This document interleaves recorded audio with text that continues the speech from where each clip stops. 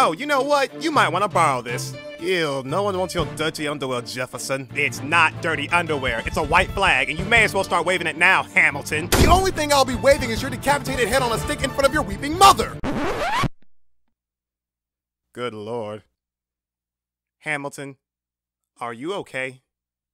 I feel like you have a lot of unnecessary aggression against me. This.